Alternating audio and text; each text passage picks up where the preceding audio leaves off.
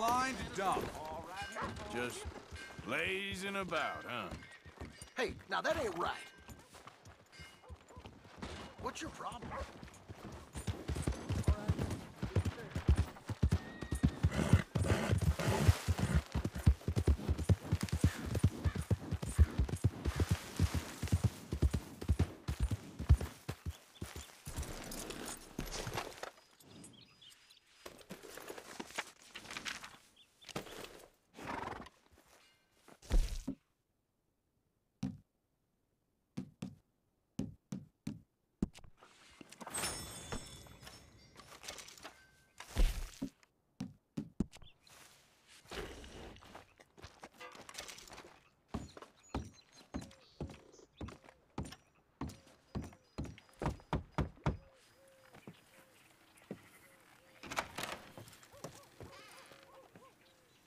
Yes?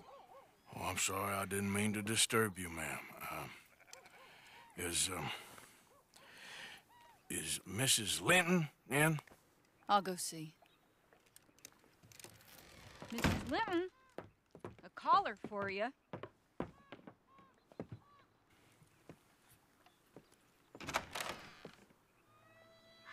Hello, Arthur.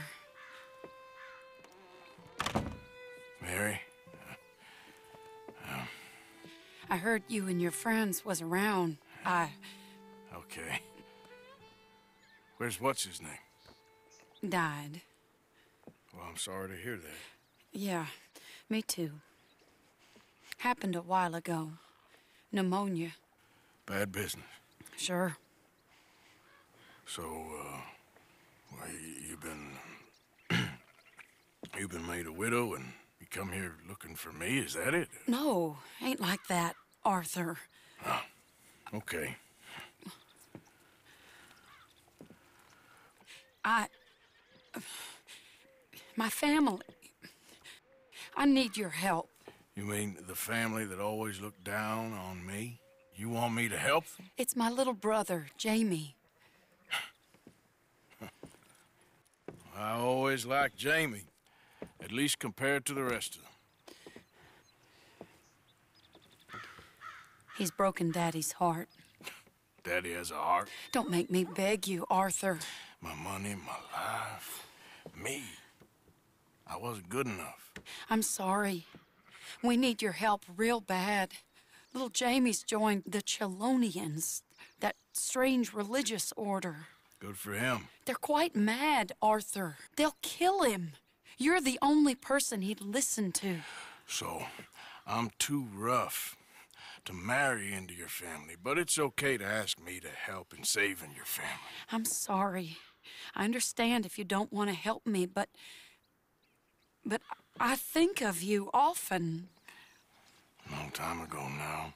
I'm begging you, Arthur. I say let Jamie live Jamie's life and not the nightmare that his daddy dreamed up for him. Jamie's so innocent, Arthur.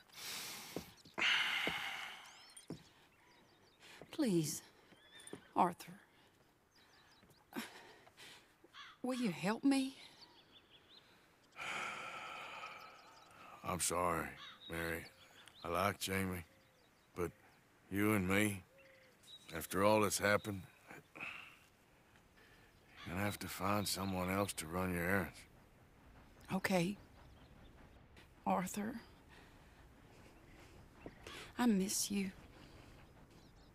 I miss you too. It's all in the past now. Take care of yourself. Sure.